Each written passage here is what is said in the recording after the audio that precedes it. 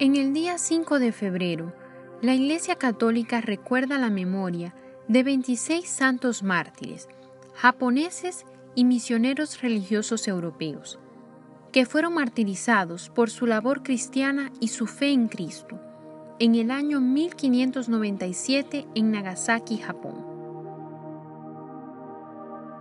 La evangelización en Japón comenzó con el misionero Francisco Javier en el año 1549, quien se encargó de iniciar la enseñanza del cristianismo en el país. Japón era gobernado por el general Toyotomi Hideyoshi, quien se negó a la obra evangelizadora de los misioneros e incluso prohibió el cristianismo en el país. Acto seguido, inició la persecución en contra de los cristianos que practicaran la religión clandestinamente.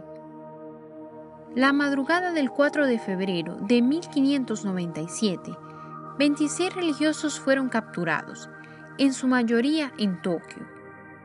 Entre ellos había misioneros franciscanos, jesuitas y religiosos japoneses que se habían convertido y eran catequistas.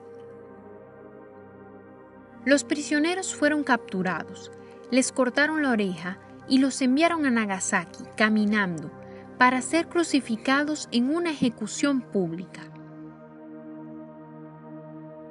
Los mártires fueron los religiosos japoneses Francisco Kichi, Cosme Takeja, Pedro Sukehiro, Miguel Kosaki, Diego Kisai, Pablo Miki, Pablo Ibaraki, Juan Goto, Luis Ibaraki, Antonio y Matías, León Karasumaru, Buenaventura, Tomás Kosaki, Joaquín Sakakibara, Francisco, Tomás Dangui, Juan Quinuya, Gabriel y Pablo Suzuki.